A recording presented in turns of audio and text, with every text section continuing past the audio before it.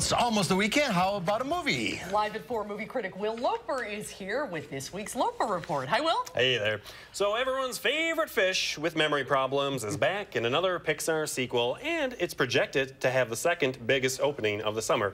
Take a look. See, I, I suffer from short-term memory loss. Short-term memory loss.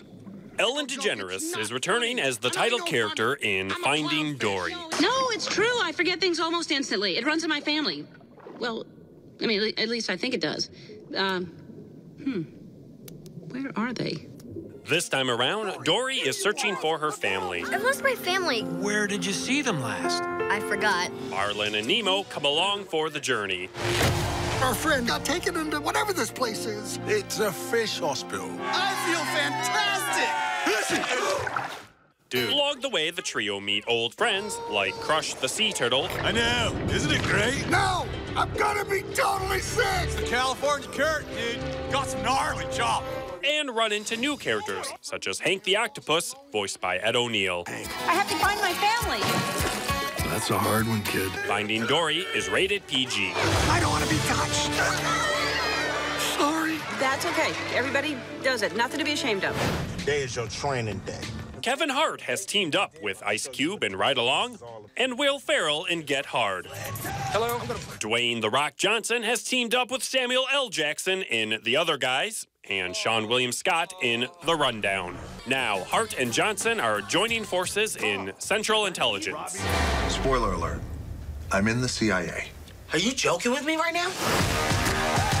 Bottom line, are you in or you out? Well, then I'm out. Actually, you're already in. Then why would you ask me? Because I thought you would go, I'm in, Bob, and we would have had a really cool moment, but you kind of ruined the whole thing. Take my gun. we may have to kill some people. I will do no such thing. I think you'll like it. I will not. The Rock plays Bob, a CIA agent who used to be made fun of in high school for his appearance in what is quite possibly the most terrifying CGI of all time.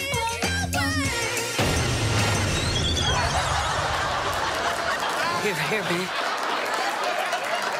Well, there's no coming back from that. Bob comes back home and enlists his former friend Calvin to help him on a very important mission. An enemy of the state stole the encryption keys to the entire U.S. spy satellite program. I need your super sweet accounting skills to help me figure out the last piece of this puzzle. No! I got a plan. It Might get us both killed, but if it works, it'll be a totally boss story. Cool? No. No, it's not cool. Cool. No, I said it's not cool. Central Intelligence is rated R. Whoa, whoa, whoa, Oh, you can't unsee that. Things you can't uh, unsee. That may give me nightmares, yes.